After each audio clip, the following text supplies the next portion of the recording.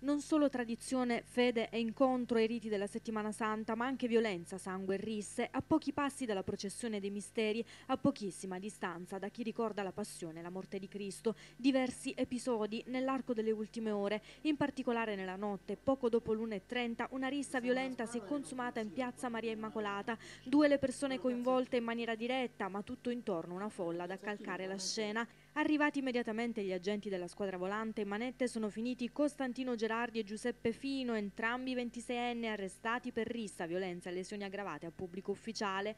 Fino, inoltre, detenuto agli arresti domiciliari, risponderà anche di evasione, accuse pesanti e ancora più dure e drammatiche se si pensa allo spirito che animava invece la serata e agli stati d'animo di chi cercava solo un momento di preghiera o comunione. I due, inoltre, nonostante l'intervento della polizia, hanno mantenuto il loro atteggiamento violento Durante la cattura infatti hanno cercato di fuggire facendosi spalleggiare anche da altri giovani presenti sul posto e provocando perfino diverse contusioni ai presenti e non solo, colpiti anche poliziotti soccorsi in ospedale e che hanno riportato prognosi dagli 8 ai 15 giorni, ma i due sono finiti in carcere. Nella serata poi un 34enne tarantino ha rimediato una denuncia per detenzione abusiva di arma da fuoco. Se ne andava in giro infatti armato di pistola, beretta calibro 22 che seppur senza cartucce avrebbe potuto creare il panico nella folla se solo l'uomo avesse deciso di tirarla fuori.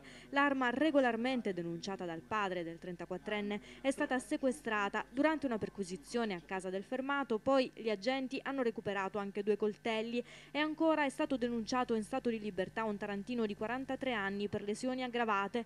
Verso le 2.30 la polizia è stata chiamata dal personale del pronto soccorso del Santissima Annunziata dove si era presentato un uomo di 40 anni con ferite d'arma da taglio al torace, al collo e al viso, le continue richieste di aiuto economico da parte dell'aggressore disoccupato e indigente, la causa scatenante della lite consumata in via Principe Amedeo.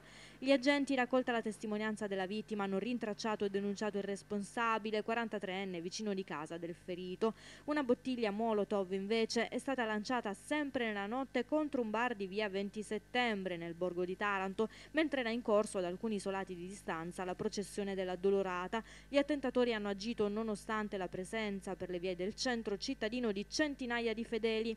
La bottiglia incendiaria ha danneggiato la sala cinesca del locale e sono in corso le indagini.